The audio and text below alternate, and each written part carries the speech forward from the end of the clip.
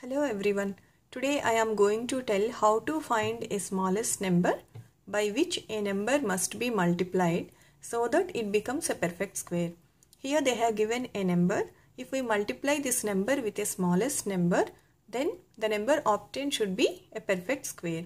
So we can write the same thing like this. Perfect square is equal to given number into smallest number. First we have to uh, calculate this smallest number and then once you multiply the number with the given number then we will get the perfect square.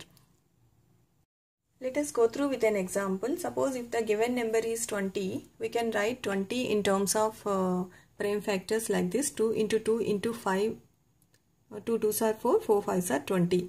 So here uh, 2 into 2, here this is one pair but for 5 there is uh, no pair so the smallest number should be 5. If you multiply uh, this number with 5 then we will get perfect square. See here perfect square is equal to 20 into 5 the smallest number this is the smallest number then we, we will get 100. So 100 is a perfect square because we can write 100 as 10 square. So the smallest number here is 5 and the perfect square is 100. Let us go through with another uh, problem. This is uh, third problem from R.D. Sharma. Find a smallest number by which 180 must be multiplied so that it becomes a perfect square. Also find the square root of that number. Here uh, they have given the number is 180. We have to find smallest number and we have to find perfect square. And also we have to find square root of the number. Okay, so I have already told that perfect square we can write as given number into smallest number. So here given number is 180 and we have to find smallest number and perfect square. So we can write 180 as uh, 2 into 2 into 3 into 3 into 5. Just to factorize here 180 with prime factors. So we can get like this.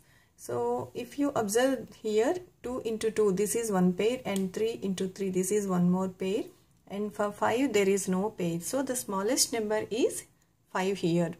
So if you multiply the smallest number with this number then we will get perfect square.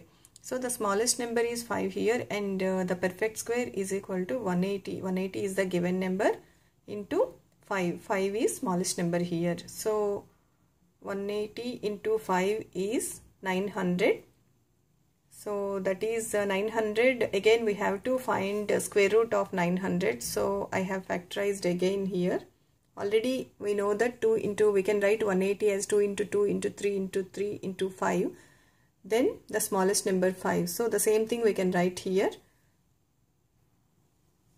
So find square root of 900 is equal to uh, for each pair we have to write one prime here. So for this from this pair 2 and uh, 3 into 3 just 3 write 3 and uh, from this pair we have to write 5 then multiply all these uh, primes 2 into 3 into 5 that is 30 so square root of 900 is equal to 30